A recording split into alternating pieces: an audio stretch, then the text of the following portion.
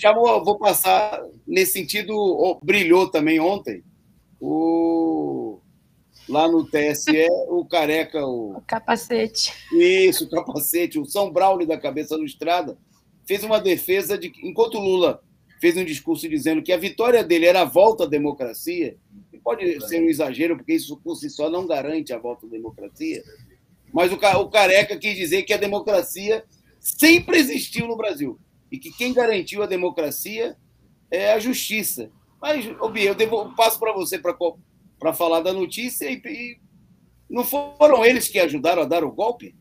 Vai lá. Sim, é. o golpe foi com o Supremo e com tudo, né? Tem aquele o áudio que virou até meme. Então, já tem um tempo que não, não tem democracia, assim, descaradamente, né? Porque essa democracia a gente sabe que ela é bem frágil, né? Assim, mas desde de, no mínimo 2016, né? É, tá bem evidente que a democracia não está sendo respeitada e quem, quem um dos, dos principais agentes, né, da, da, da quebra da democracia é justamente a justiça, né? Ao contrário do que o, o ilustríssimo, ilustrado brilhoso falou, né? É, e, bom, isso aí eu estava te ouvindo, né? E estava lembrando que não dá para gente que é de esquerda ficar querendo que a justiça resolva, né? A, essa questão aí dos bolsonaristas, né? A gente tem que é botar eles para correr, né? E não esperar que a polícia faça isso. Até porque eles não vão fazer. Né? Eles, eles estão do mesmo lado, eles estão contra os trabalhadores. E a justiça brasileira é extremamente retrógrada, retrógrada né? É, teve esse pacotão aí da, da democracia, né, que foi, foi anunciado semana passada, que, que assim, é, é bem contraditório, né? É o pacotão da democracia, mas ataca todos os direitos democráticos, é, embrutece cada vez mais as formas de punição. E saiu uma matéria no DCO hoje que tem um, uma frase em destaque que é que eu quero saber o que significa, porque eu, eu não sei o que significa. Aí eu vou aproveitar aqui para te perguntar, Tony, ver se você sabe. É, que é, eu acho que é em latim, é indúbio contra reum. Indúbio pro réu. É. É, aí, ah, fizeram um trocadilho, então. É, indúbio contra, contra é. réu. É, a, a, o princípio, né, o princípio da lei, indúbio pro réu, é que, na dúvida, é, a justiça deveria se posicionar a favor do réu. Né? Mas Sim. o que vigora, o que vigora na, vem vigorando na legislação, não na legislação, porque a lei não mudaram, né, mas nas decisões judiciais, é, e é isso que a matéria destaca, né, é que, na dúvida, é, puna-se o réu, né? Quer dizer, Sim. e o réu seja punido, o que é uma fragante violação de um princípio é, jurídico e da legislação, né?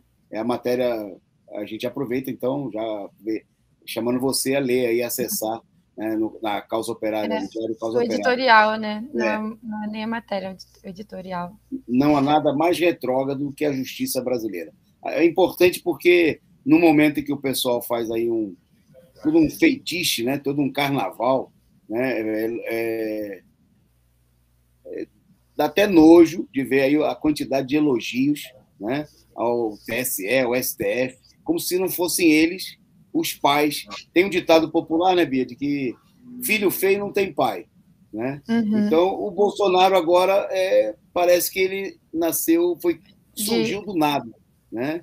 É, é. filho de chocadeira, como Choca... o pessoal fala. Nem chocadeira, né? Ninguém nem chocou ele. Agora ele, ele brotou do, do nada, né? Se foi materializado nada. Exatamente. Quando, nem quando... a chocadeira está se manifestando. Isso mesmo. Quando o próprio judiciário né, teve um papel fundamental, decisivo, né, é, para garantir que o Lula não pudesse ser candidato em 2018, que fosse preso, que não tivesse direito a habeas corpus, que não tivesse, que fosse negado o direito ao registro da sua candidatura, ou seja, entregaram a eleição para o Bolsonaro, são pais do Bolsonaro, né, são responsáveis é, por esses quatro anos de sofrimento é, que o Bolsonaro e toda a direita impuseram é, ao país e agora querem agir como se eles fossem salvadores da pátria. Né? E Sim.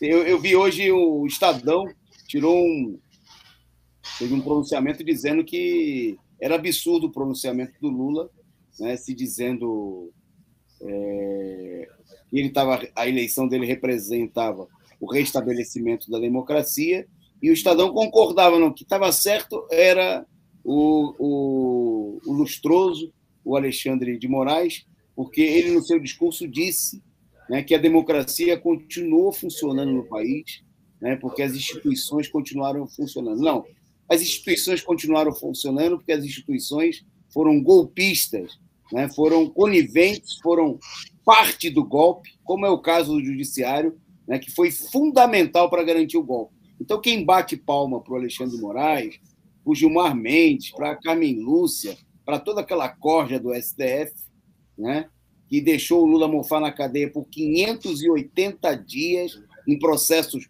comprovadamente fraudulentos, indevidos, né, tem que pensar nisso aí antes, né, e não cair na conversa fiada agora, né, que o Lula foi eleito pelo povo brasileiro, de que esses senhores aí foram que garantiram a eleição do Lula. Ó, oh, ser tonto tem limite. Bom, eu chamo a atenção aqui da nossa audiência. É...